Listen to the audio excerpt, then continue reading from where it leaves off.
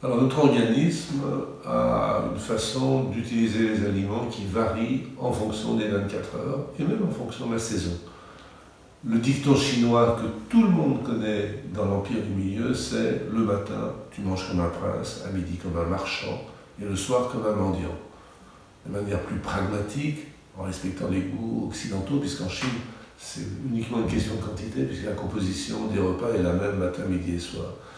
Donc en Occident, mais c'est les Anglais qui ont raison. Je ne parle pas du goût, qui est un peu discutable.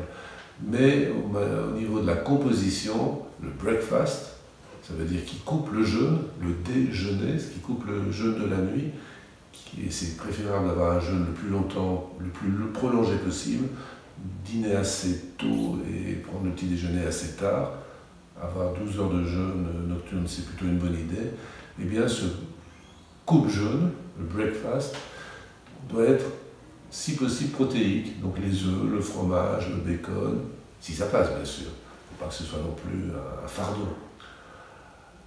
À midi, on va promouvoir plutôt un repas classique, euh, viande, poisson euh, et légumes, et le soir, plutôt des sucres lents.